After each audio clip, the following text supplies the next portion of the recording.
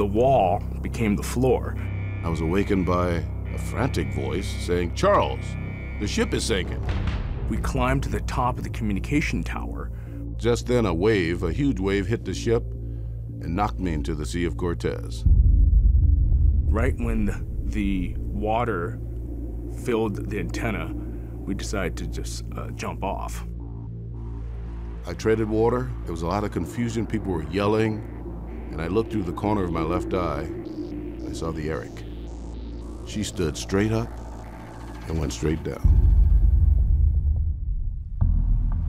The sun came up and I noticed we were surrounded by water.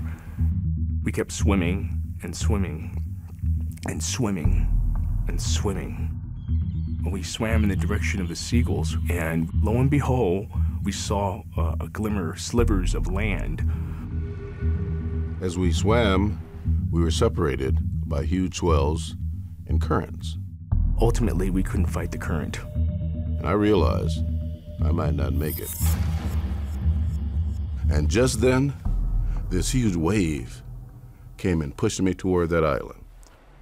We saw a little speck of a boat. At that point, I knew that uh, we were going to make it.